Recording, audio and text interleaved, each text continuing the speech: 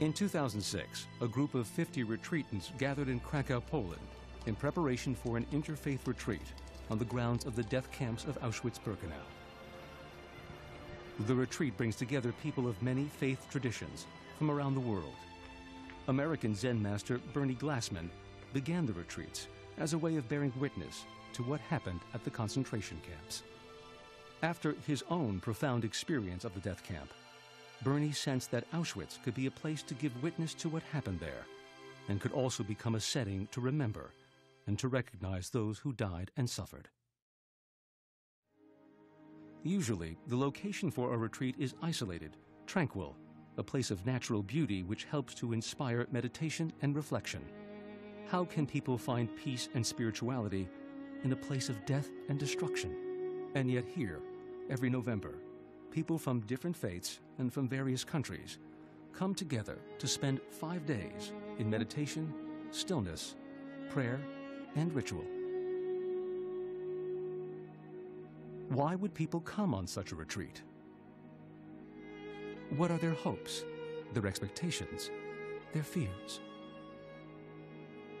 How will this week change them? Or will it?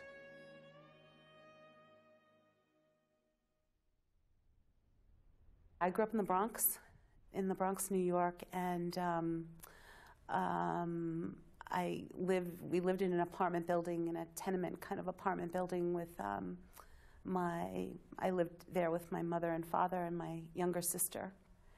Um, my father um, was an immigrant. He um, was originally born in Romania um, to a Jewish family in Romania, and he immigrated after the war. He's a he's a Jewish Holocaust survivor. I have no one in my family that you know, experienced the Holocaust. Um, and it's not so much kind of the, the Jewish Holocaust in the background of my mind all the time, but the, the place of torture, the place of losing human humanity.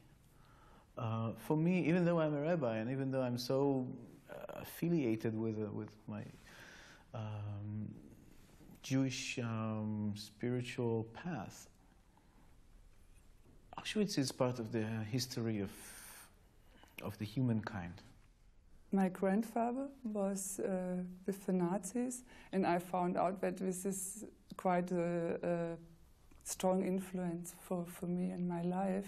I really saw how my, my grandfather, who, who was responsible for, for for suffering and death of so many people. I loved him really, or I still love him. As really, I was like his child always, because with my fathers it was not so so easy, and uh, he, it was always this. We, we call it Schreibtischtäter. So they always said in the family he only was sitting on a, on a desk and writing. And it was a total taboo to talk about what he did. Until now, I really don't know what he did. It was really like the secret he was carrying, and the whole family just accepted it. I grew up in the Dorchester section of Boston. Uh, it was pretty much a parochial Catholic neighborhood, uh, probably a second generation of immigrant families. Uh, I went from the parish parochial school, St. Brendan's School, to Boston Latin School, and into a whole new culture uh, completely of where most of my classmates were Jewish. Many uh, of the Jewish families were immigrant families from pogroms in Russia or or uh, uh escapees during pre-World War II or post-World War II. It's not until talking later with uh, some very dear friends who've been friends of mine for you know close to 45 years that I we realized that we grew up in the shadows of the Holocaust. My knowledge of Auschwitz is that it was probably the culmination of a lot of the programs to eliminate the Jews, and it got to be almost a factory like system and very mechanized and bureaucratized. And it was just you know the culmination of a lot of maybe more sporadic violence that had occurred against the Jews in earlier years.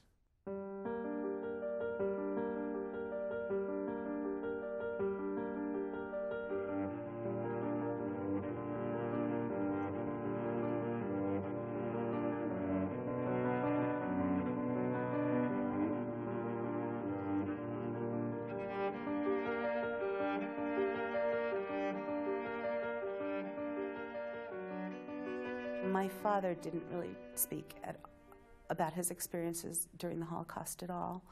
Um, but what he did do was really weird stuff, like um, we, we call it, he would um, sort of leak out stories without directly telling us what happened. Um, so he might be sitting and watching TV, and a little child would run up on the screen. And he said, Oh, you know, they used to take babies and take them by the leg and swing them up in the air and use them for target practice like that. I had no context for it at all. I thought my father was crazy. And um, I just sort of freaked out, dissociated. Where did my father come up with these crazy stories? I think I dissociated because I, I didn't understand it. Think there was there's something that I was, I don't know, born with. I think some sort of knowing that was not intellectual, that just came with me somehow, and um, I don't really I don't really know how to exactly talk about this, but it, it just I came, it came with me. And I, I woke up as a kid with nightmares a lot, and just nightmares of big piles of dead bodies. I had always the feeling something has to happen in the world when I was young. What can I do? And it, uh, it was really this longing that, that something should, should be changed. Or, and I was also really a rebel for a time, I would say. And, uh, and then I was hap- very happy to find the, the spiritual world when I went to India, changed my name, and, and really went far away also from Germany and my family, I feel I had to, yeah, something was too much there also for me. To, to so I really left it, and, and I, I, I was really looking for where, where is it going and where can I find my, my peace.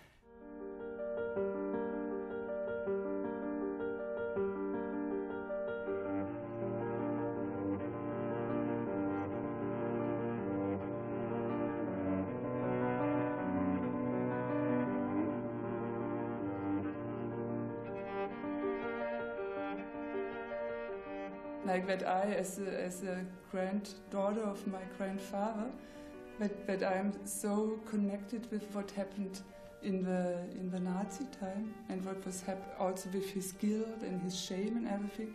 And in his case, he was not able to express it or to solve it, so he, he took it just with him without finding any solution. When I was in college, um, I took a course called Perennial Questions. The teacher had us read Night, Elie Wiesel's Night, and I read it, and somehow I knew, I just knew in that moment that, um, that it was my father's story. And then, from generation to generation, it can be that when there is a person, somehow I took it and I felt the guilt and the shame and all this. So I asked him if I could interview him about his experiences. He said, What took you so long to ask? so we set up a series of interviews, and, um, and it was really kind of intense because he'd never really talked about it before. And then that it's now time that, that because I'm also far away from it, it's I'm not the next generation, but two generations more, that, that I have uh, that I have the possibility to really look at it and bend his shame and his guilt, that I look for him. It took him a very long time to start talking about what actually happened in the cattle car and in the camp, but it it, def- it did come. So he, he really shared a lot of a lot of really powerful and frightening and moving stories. His his father was a Hasidic rabbi in the town that he grew up in. And there were about 200, 250 Jews in that village, and none of them survived. My father did. He was young and really strong. I can say, I'm so sorry what happened, or it's, it's so painful, or I cry his tears. And if this is happening, then everybody can come back to his place and, and peace can really happen.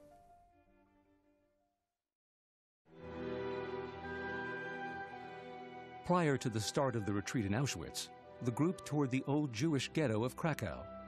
They visited the one remaining active synagogue. The other synagogues stand empty or have been preserved as museums. After the Nazis invaded Poland, the Jewish population disappeared. Most of them were sent to the extermination camps.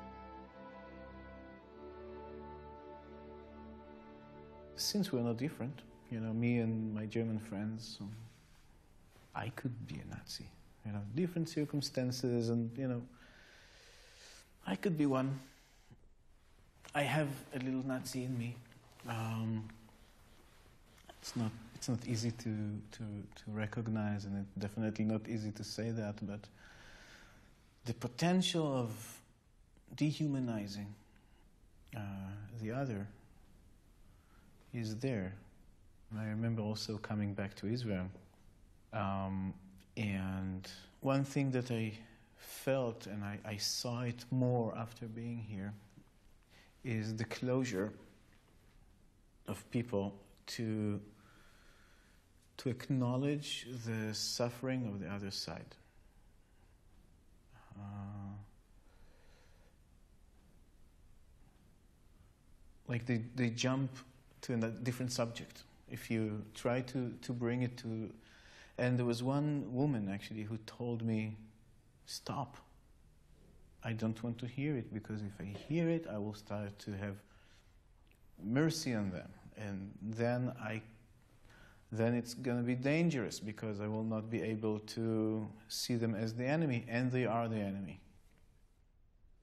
My understanding is that sometimes in life we may pass through being the, um, the person causing the pain, and other times we may be the victim, karma as a result of our positive and negative actions, and that somehow this is just all going around, and uh, it's just been sort of a chain or a circle of suffering. And Auschwitz, or that example, might be a, very extreme example of just this continuous suffering, but it's just part of a, a chain of events that's been uninterrupted because people are operating out of ignorance and not seeing the consequences of their actions or the humanity of the people. You know, they've dehumanized and, you know, uh, that's sort of a muddled response, but that's a little bit how I would start to approach it. After spending a day in Krakow, the participants prepared to leave for the death camps of Auschwitz. Does Auschwitz not silence us? How and why would anyone even attempt to pray there? Coming to Auschwitz was always one of my uh, personal goals in, uh, in life. Uh, but I also come uh, to say Kaddish for uh, the many relatives or friends who've died here, whose families were destroyed here. Also, as a Catholic priest uh, coming from Krakow, which was the beloved city of uh, John Paul II uh, has a special meaning to me as a priest to realize that uh, no one has done more for Christian Jewish relationships than John Paul II. And I think his connection to Jewish relationships is because of the proximity of Krakow to Auschwitz, as well as the fact that many of his Jewish friends disappeared from his midst as he, as he was growing up. And so for me to come here is, is also uh, to honor his memory and to uh, honor his memory of apology, too, for the ways that all of us in our ways may have been hateful or spiteful.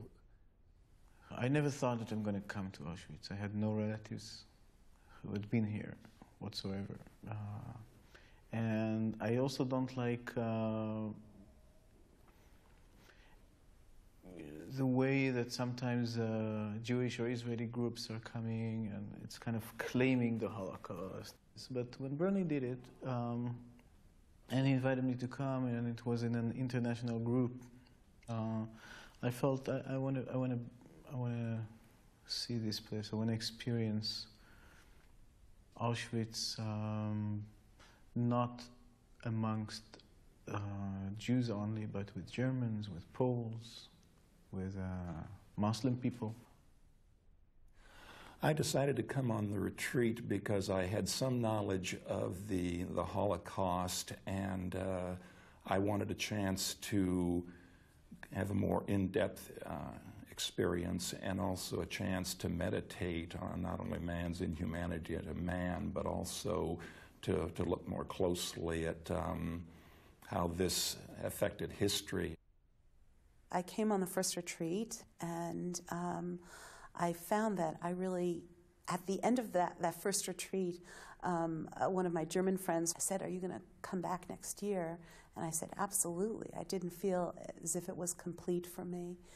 And um, I I felt it hasn't been complete for me. Every year there's something new that comes up, something further that needs to be explored. Um, in the States, I don't have a place to put a stone on a grave, which is a traditional thing that Jewish people do. And, um, and here I know I can come and I take a stone from Vermont and I bring it and I put it in the ash pit every year. And it just it, it feels like a completion for me to, to do that. I knew at one time I, I, it was like my soul was called to once go to, to Auschwitz. I just knew that that's it. And um, it, it's somehow, I'm even not nervous or, or I'm, I'm not afraid or it's, it's somehow too big. It's, it's like, it's not that I have any, um, normally I'm always, oh, it's this or that. So, but when, when I now traveled, I felt I just know I have to go there.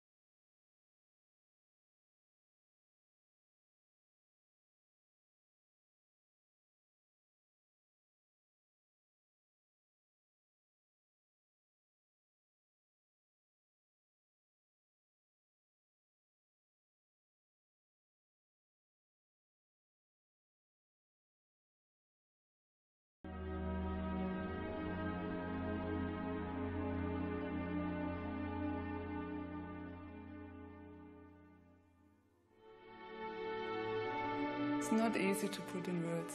It's beyond words, I would say. And it's, um, yeah, it, it was like uh, in the morning, I was praying to, because it's the first time I come to Auschwitz. And I felt it's really big for me to touch the ground.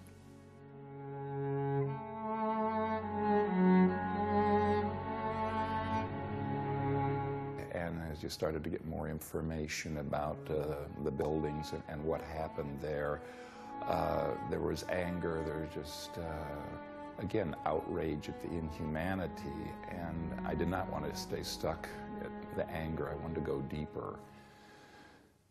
And, and so getting in touch with the sorrow and, and just of what the people went through.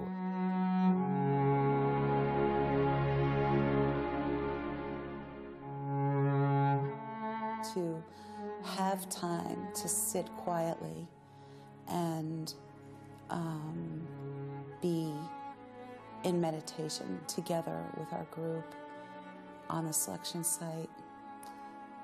Um, it was it was very deep. Um, a lot of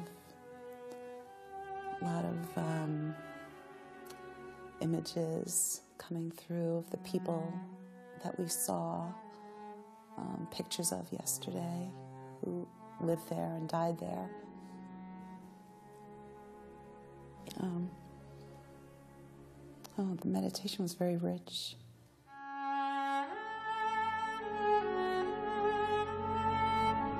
You know, I, I'm emotionally exhausted. Uh, I find uh, myself wanting to defend myself against some of the experiences, yet I strongly feel that it's important that I open myself to the full totality of the experience of Auschwitz and Birkenau as, as it's humanly possible for me to do it. You know, I also, uh, because I, I want to get that feeling of the place.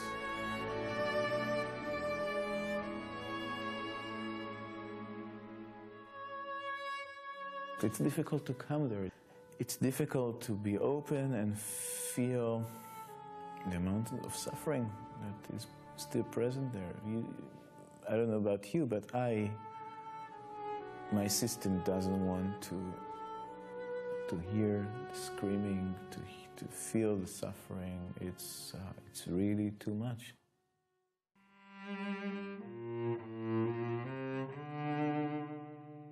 You know, I've read the literature, but I needed to walk the grounds to get a sense, a physical sense of uh, how the earth felt. Uh, to walk in the barracks to see if they were muddy floors, to realize that in Birkenau, uh, no matter what the season is, it's always going to be mud.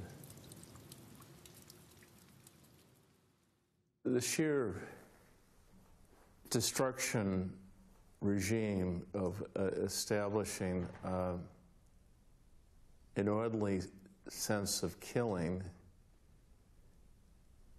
amid also subverted the lives of those who lived in such a way that terror was always in the air because people could taste and smell uh, the burning of human flesh.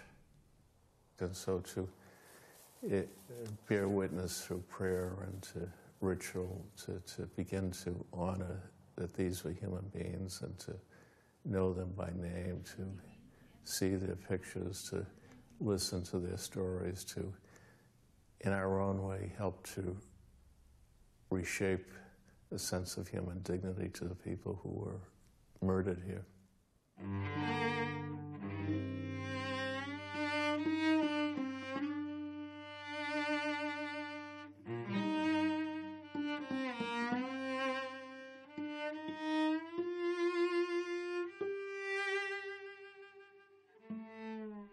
Selection site is where the trains came, the cattle cars came in to Birkenau and where they let the people out. It was basically just, you know, mud and shit, just people falling out of cattle cars. Um, and it's where they made the selection of who would go to work and who would go to the gas chambers. And that's the spot that we sit in. There are many places to sit um, and reflect and do meditation in, but everyone passed through that place. And the men, the women, the children, they all fell out of the cattle cars to the spot that we were sitting at. I get a, a sense of uh, standing uh, from the selection spot and imagining you know, the confusion and terror in people's minds, the sense of seeing chimneys and the smell, even though we don't get the smell, but you can hear a church bell ringing or a dog bark.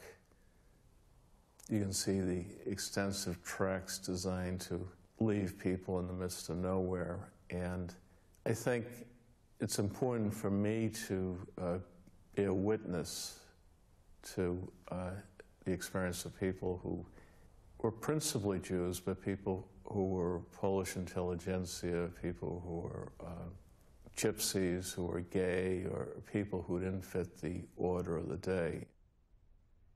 Have we learned anything from Auschwitz? Have we learned anything from Birkenau? Have we learned anything from the Holocaust? Because still the most vulnerable in our society are the, are the people being hurt right now.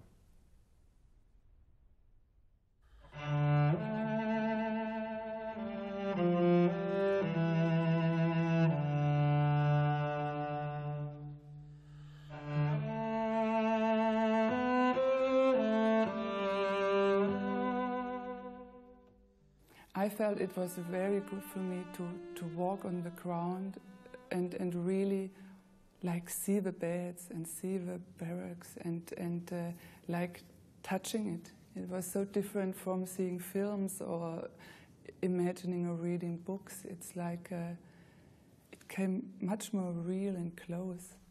And it was these little stories of how daily life was, or, or with, it, it brought me so it was really, yes, it was really human beings went through hell. It was like, uh,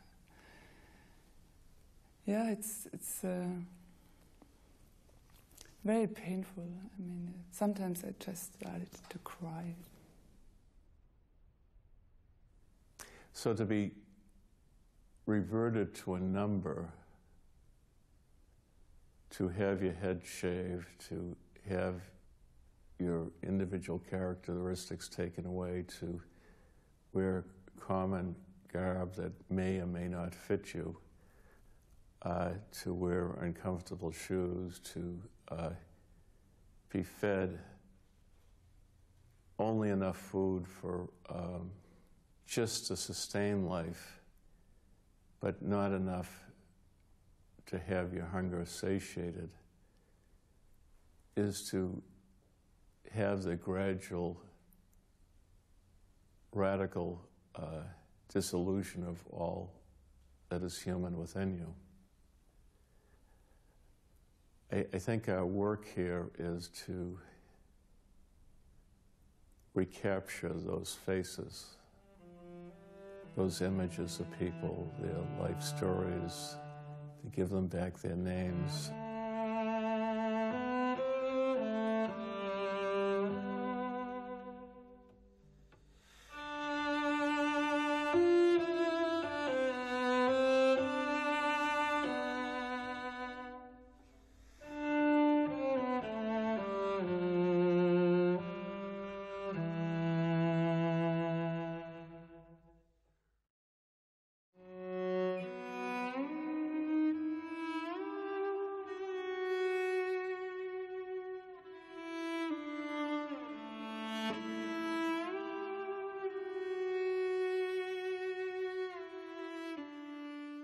I think it was uh, from just the physical shape of the buildings there. I thought the brick buildings would be better shelter for the women than the stables that the men were in. But when I got inside, it was just like a brick stable. And so just the, the conditions of the building were a bit of a shock. And then knowing that it was a place uh, where the women that were selected to die were housed, and some of them were housed in the um, courtyard because of lack of space there. That was just chilling to know that, and just the you know, the brutality in which you know the women were treated and the girls, and the fact that some women died there. They under the conditions before they even got to the gas chamber. That that was unsettling. I'd gotten to sort of the close of yesterday at a better place after going up and down with emotions and such. And, and here it was just, there's more darkness to visit.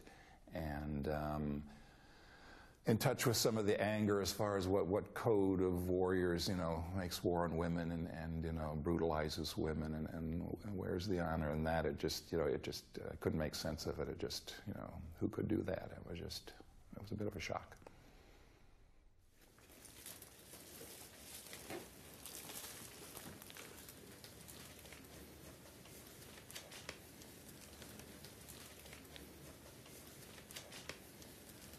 This place was uh,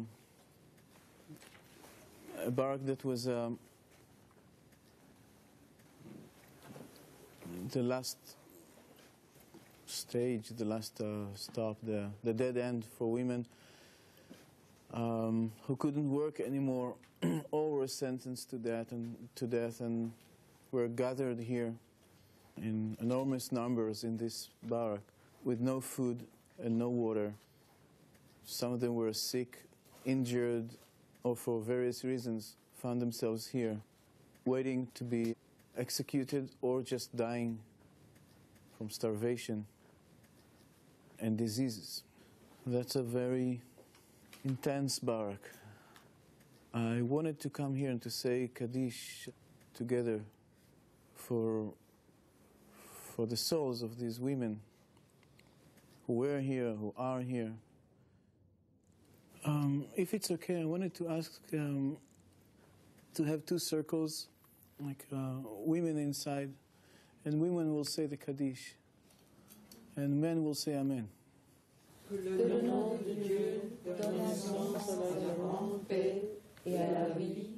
In the midst of this darkness, to in different voices and different languages, begin to pray for those who had died, who had no one to say Kaddish for. Kaddish restores the ultimate dignity that a human has in the face of God, and a dignity that no person can ever rob. The one who has given the universe of peace gives peace to us, to all that is Israel, and say yes. Amen. Amen. I encourage you to go later and just visit them. Visit all the shelves, all the beds, and to speak to them. What could maybe comfort those women?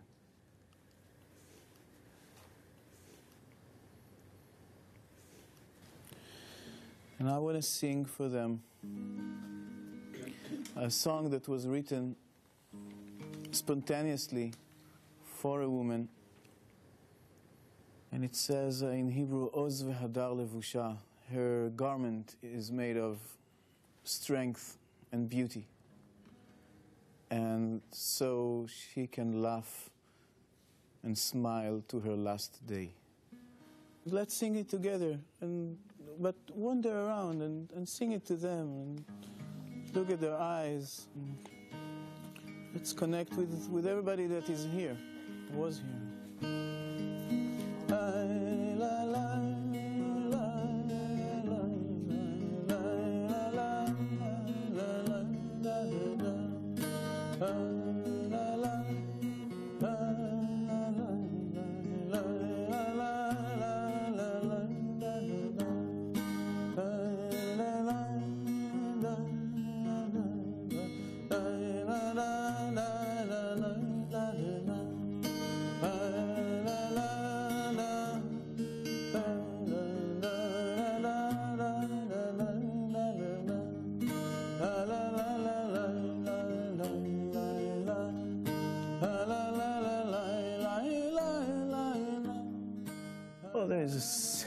Sadness in the air all the time, uh, real sadness and uh, and real compassion and you know it's just sad. You know, it's a place that thousands of women, of human beings, were tortured to death.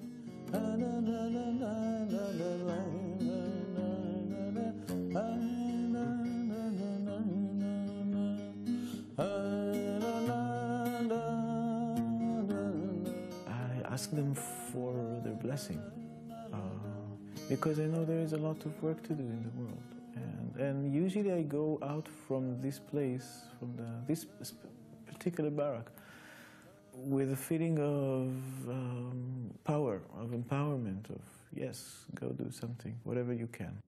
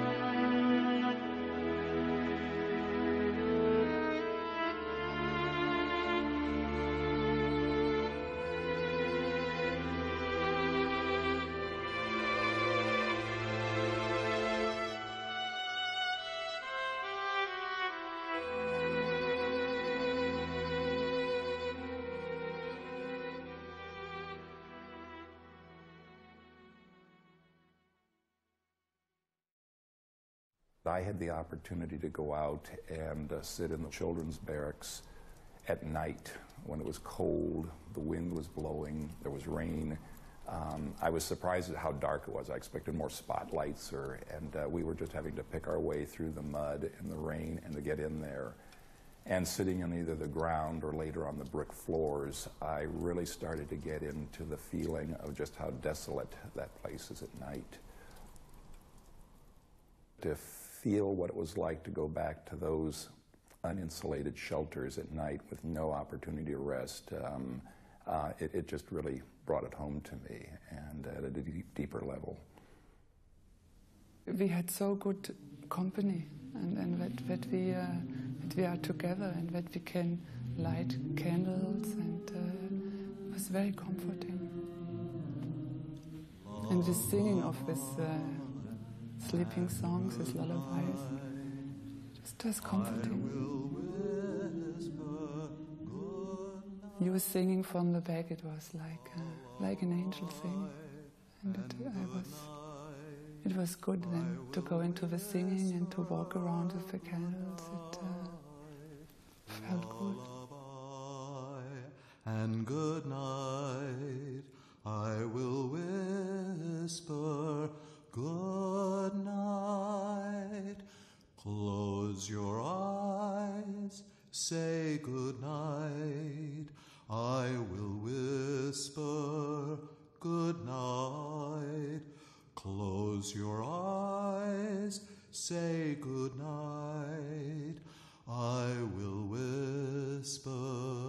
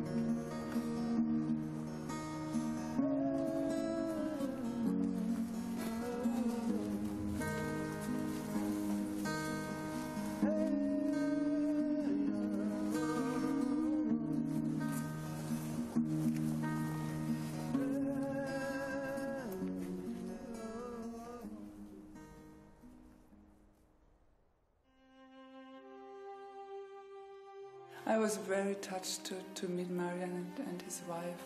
It's when they walked in and just to walk with him, it was such a blessing to be with them, and I, I felt so grateful that they have the courage to walk back to the place and, and, and, and to share it. It was really so already to stand with them there. It, it, it was like uh, I felt such a gift to meet them. And then for me to, to walk to the wall, it was like giving my tears to the earth. It was like, uh, this is all I can do. I can give my tears to the earth. I z Tarnowa pierwszym transportem do Oświęcimia. And from Tarnów, I was taken in the first transport to Auschwitz. No i niestety tymi rękami również się przyczyniłem do tego, że sobie sam ten grób wykopałem tu w obozie. And with my own hands, I built the camp and I survived th- through the camp. A my musieliśmy stworzyć sobie swój własny świat. And we had Młodzi, bez zawodu, bez... He was 17 when he was taken in the first uh, transport. So, we, meaning young people without job, without profession, we had to create our own world in the camp. A tak się zdarzyło, że ja interesowałem się albumami dzieł sztuki. And I was interested in art.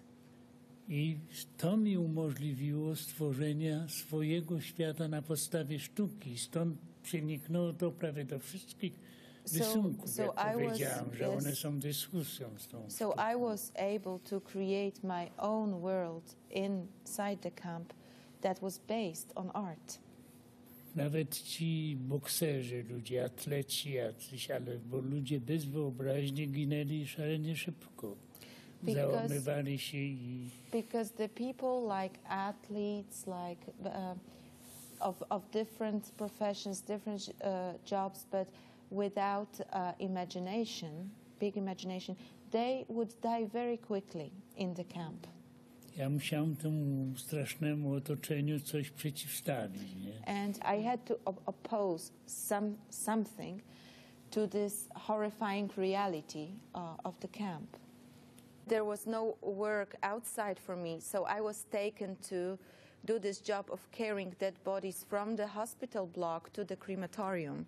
Tu Tam jest takie obrazowanie w jaki sposób. W And there is a skrzyni painting- znajdowały się cztery ciała. And there's a as there's a painting showing the way it was done.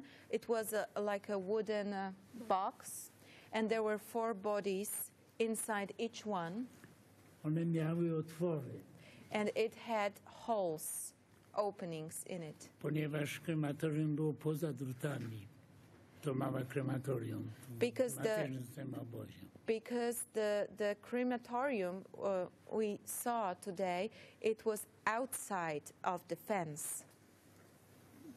To przez te otwory bagnetem sprawdzali, czy my kogoś żywego nie przenosimy poza druty.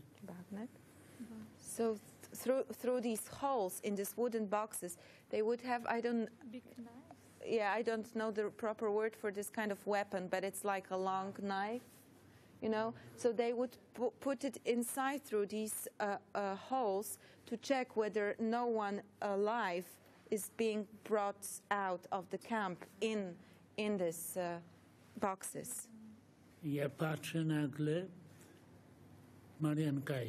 kogo ja mam rzucić na górę? But the, then I see, and I see the face of Marian Kaidash, this close nie friend of mine. So I took his body uh, into, I hold it in my arms, like I show it here.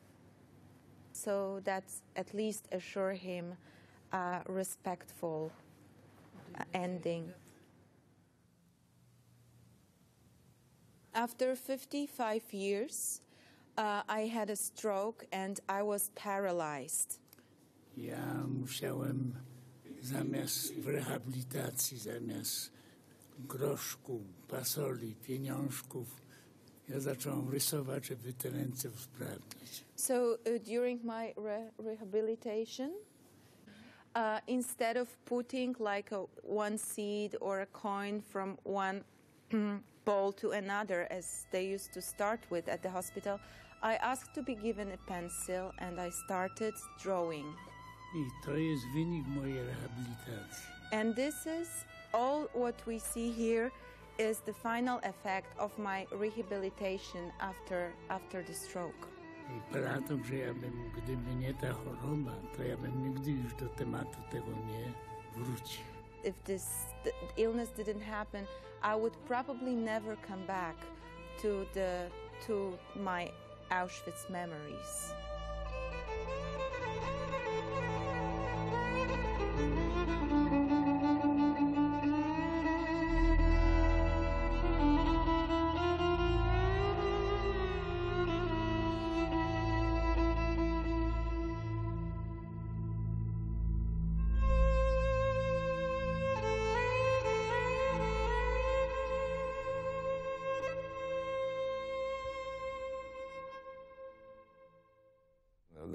Came from seeing hundreds of images that he had drawn uh, from his five years at uh, uh, the prison camp there. One of the images showed death, and he was on the shoulders of death, and death was very tired and, and barely able to hold up the sigh, and he was just sort of laughing that death was too tired to kill him, you know, despite the fact that he had come close to death many times. Marian and Helena, for me, are shining, radiating figures. For me, they are a proof, a living proof, that one could suffer a lot and transform suffering into compassion and into beauty and into art and humor and not be bitter and complaining and thinking all the time that it's better to close up. Marian and Helena are open. I love Marian and Helena. They're they're like saints. um, his paintings are nightmarish, but maybe that's what helps him be so peaceful that he gets all of that horror out of him, which is something my father couldn't do. Um, he had no avenue like Marian to put those images outside of him. But Marian's really, his ability to not have any anger um, is really remarkable to me. I love him.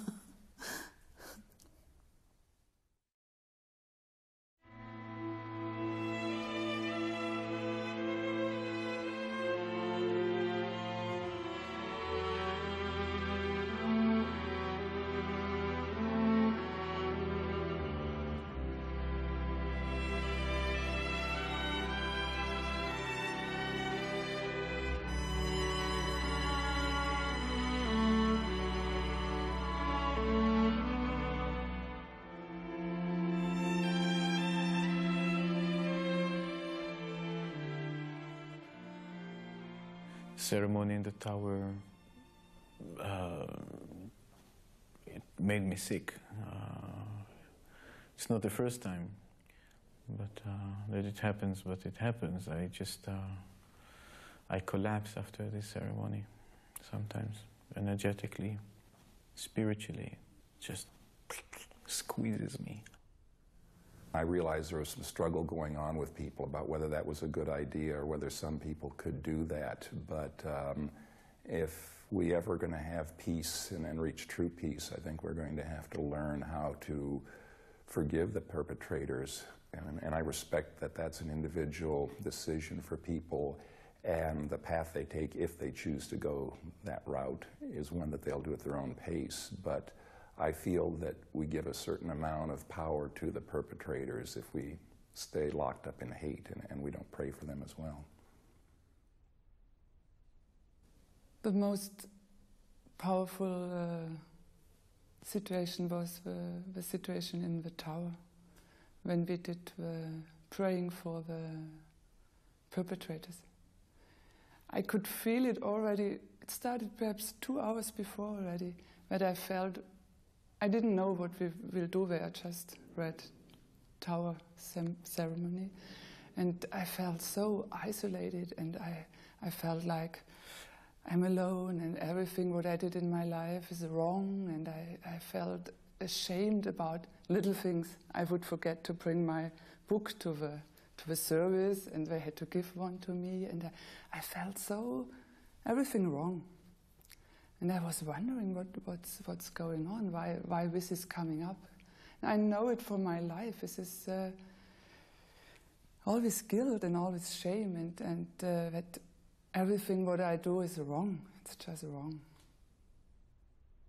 It was challenging and very moving and a little shocking to hear the German participants speak of their families and um, the pain and shame connected with that history. Um, to, to stand in front of us as children of perpetrators. I, you know, I, th- I think children of survivors. Um, it's it's easier to identify with a survivor. To stand up in front of a group of um, that, that's as diverse as our group is and share that was really, really touching to me and moving and courageous, incredible amount of courage.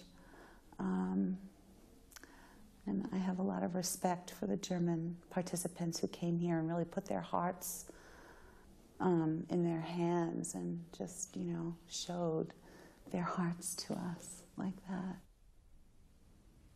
And uh, when I walked up the steps, I felt it getting so strong. I nearly couldn't walk up the steps. It was like I nearly couldn't stand on my legs. It was like uh, I was just praying that I would not go unconscious because it. Uh, on one side, it was such a gift and so much love. It was more love than, than I could, uh, could, could take somehow.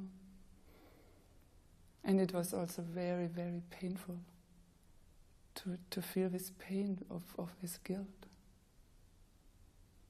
And I was praying and praying and standing there and, and, and just trying to, to receive it and, and to pray for the souls of the perpetrators. And when the ceremony was finished, I was standing and looking out of the tower and seeing the whole camp, and it was like, it was really like hell, and it was just black. And I was like, I really thought I'm, I'm just collapsing and, and, and, falling down. And then uh, Daria would come, and uh, she's from Israel, and uh, I know she lost her great grandmother in, in Auschwitz. And uh, she just would ask me, How are you? And, and I was really, it, it, I fell in her arms and I was just crying and she was holding me. And uh, I couldn't believe that she would hold me with my tears. There's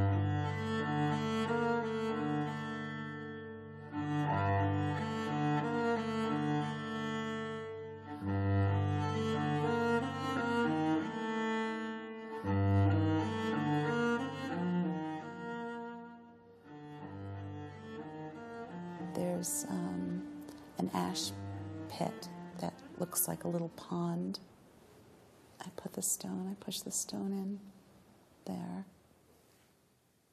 I remember the first time I put the stone in, I kind of got my fingers muddy.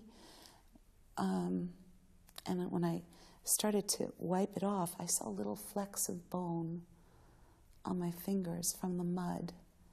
It was stunning, and I didn't want to wash my hands because I didn't want to just kind of wipe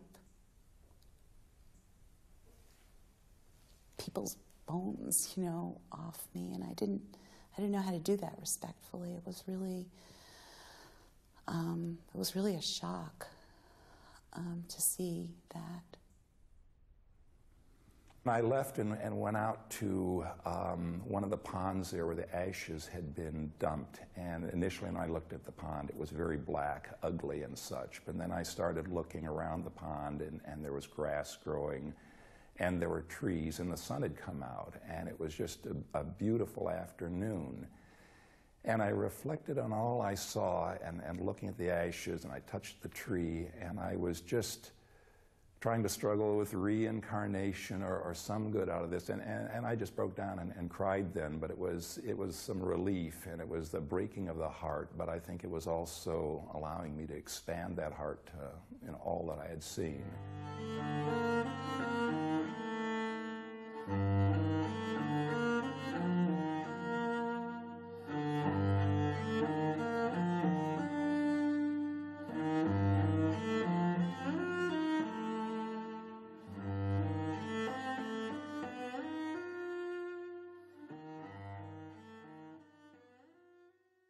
We are rising up like a phoenix from the ashes.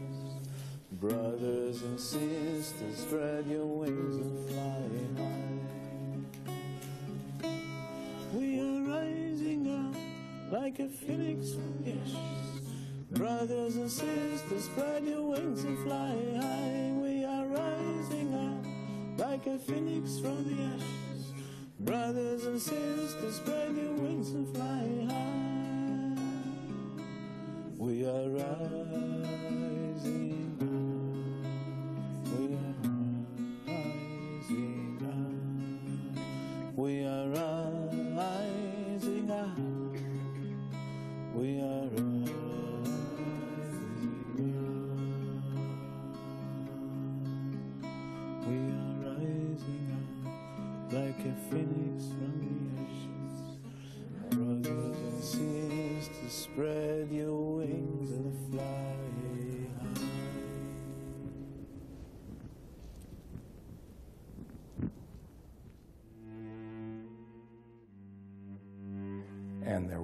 Plenty of opportunity to bear witness to the suffering here, and at times it got overwhelming and, and it broke my heart. I will always remember the fact that people were punished and even killed for showing a little kindness to each other in the death camps. And when people were willing to risk that and be humane when they're being reduced to, you know, inhumanity or to subhuman beings, if they could do that under such circumstances, you know, what is our excuse for not, you know, showing kindness for people, you know, when we're free to do so? Mm-hmm. When I initially decided to come here, I thought I knew a little bit about the Holocaust, and yet I came in that spirit of not knowing or being willing to let go of preconceived notions and, and just be open.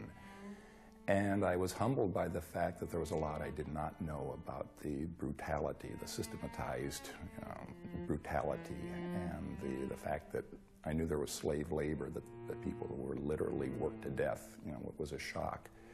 And so I thought I was going to Auschwitz, but by opening my heart, I think I let Auschwitz come to me.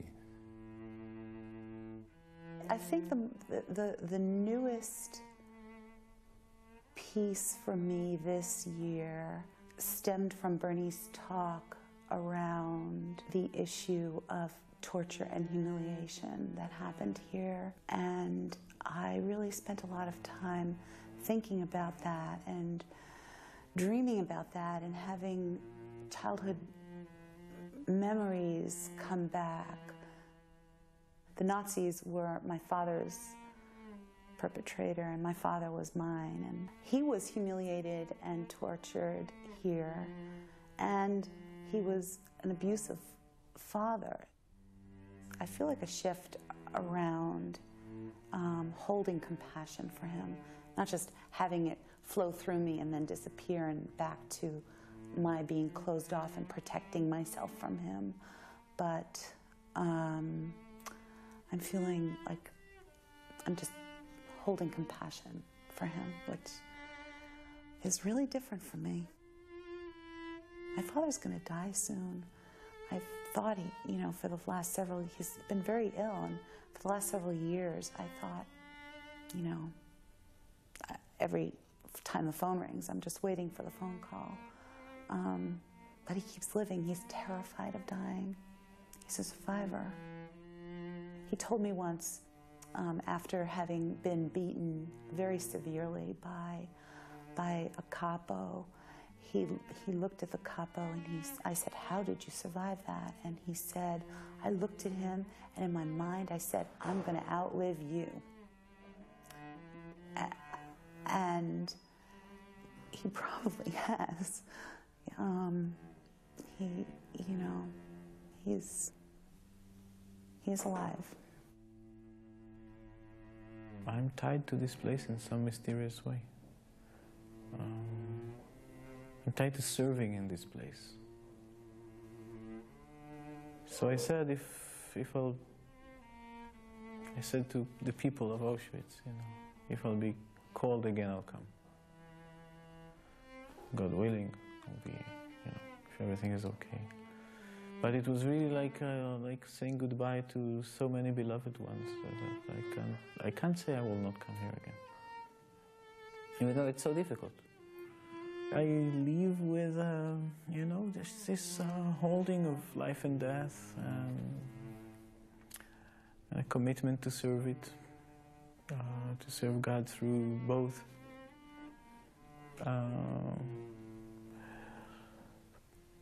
It's not that I came here interrupted by something that I had to make peace with, you know. So it's not it's not this kind of thing for me. Uh, but I live here with love. What did I really learn? Yeah. It's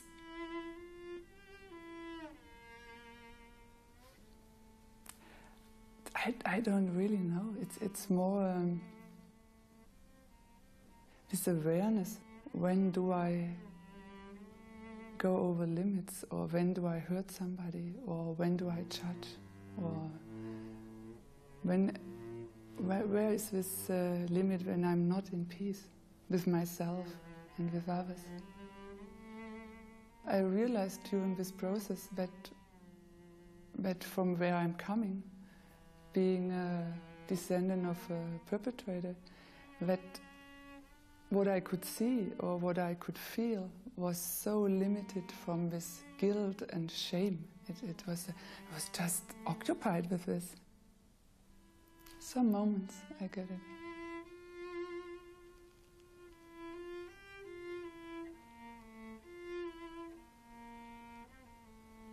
It's like some moments I can taste it. And it has a lot to do with being in peace in myself. Like how to be in balance. One morning I woke up, I, I had this question How can I really love myself? And I thought, this is really stupid. You come to Auschwitz always suffering, and you're just thinking about yourself and how to love yourself. This, this is not possible. This is really very selfish. And then during the day, I realized it's really important to love myself.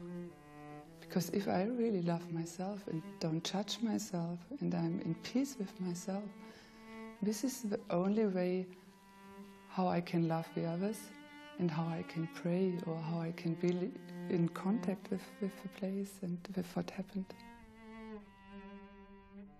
I take from this retreat certainly the, the experience of all the people on our retreat and carry them with us. I think uh, in the last five days has been an intensive personal journey as we've listened to each other's stories.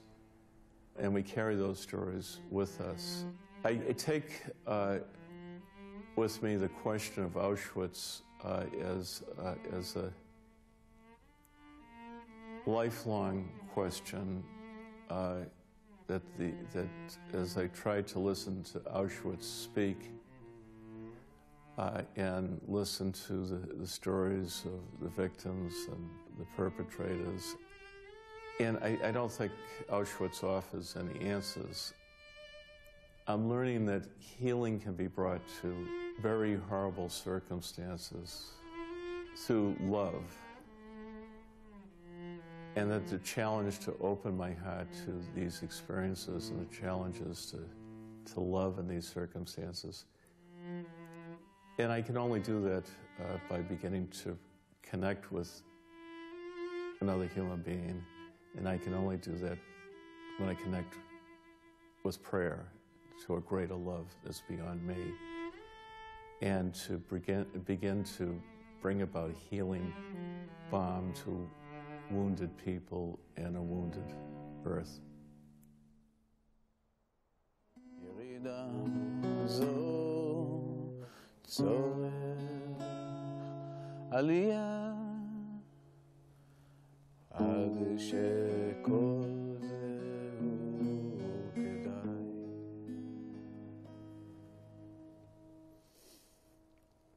In the last line it says, this going down is for the sake of going up. And because of this, all this experience is worthy of going through. עד שכל זה הוא כדאי.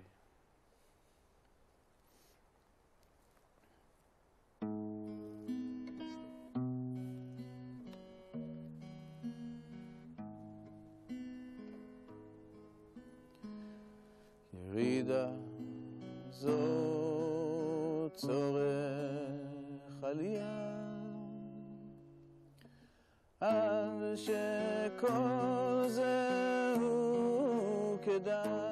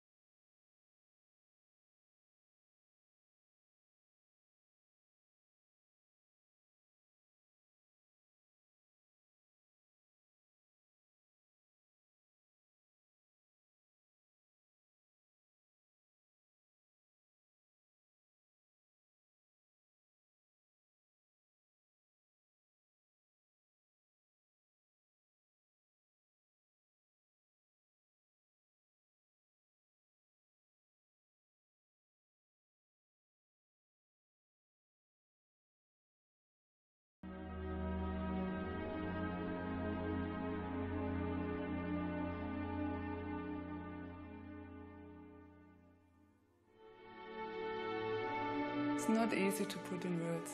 It's beyond words, I would say, and it's um, yeah. It, it was like uh, in the morning.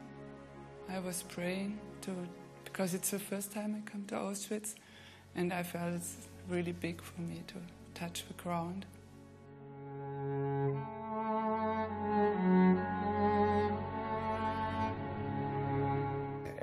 Started to get more information about uh, the buildings and, and what happened there, uh, there was anger, there was just, uh, again, outrage at the inhumanity. And I did not want to stay stuck at the anger, I wanted to go deeper. And, and so getting in touch with the sorrow and, and just of what the people went through.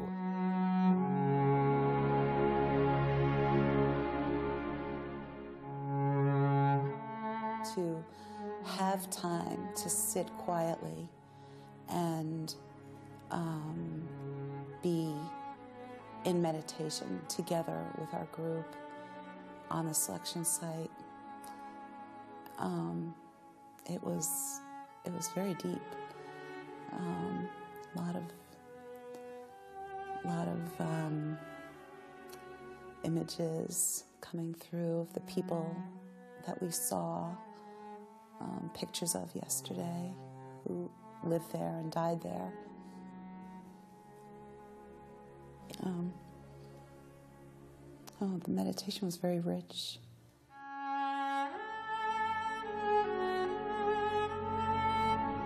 Yeah, I, I'm emotionally exhausted. Uh, I find uh, myself wanting to defend myself against some of the experiences, yet I strongly feel that it's important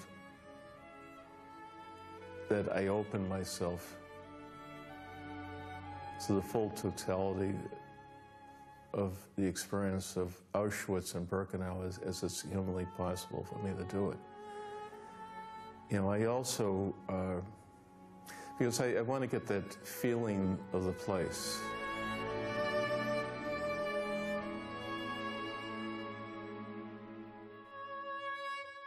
It's difficult to come there.